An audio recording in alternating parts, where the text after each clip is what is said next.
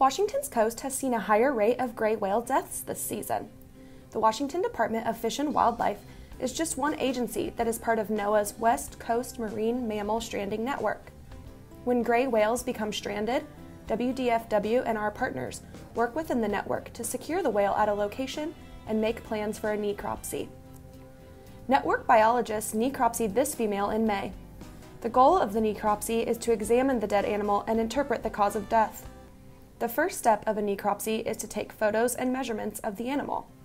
This female was just under 42 feet. In addition to length measurements, biologists take numerous other measurements for life history and body condition indicators. Biologists also take photos of the tail and dorsal knuckles to see if the whale in the photo is in the identification catalog. Once measuring is complete, biologists investigate the outside of the whale for whale lice and barnacles. A lot of whale lice can indicate that the animal could have been debilitated before its death. They also look for any external injuries, scars, or lesions. This also includes examining for any signs of human interaction. This female had healed orca rakes on her side and tail. Next, they examine her baleen. Baleen are a filter feeder system in gray whales. Gray whales are bottom feeders. When a whale opens its mouth, it takes in water, mud, and food, such as shrimp, crab, and clams.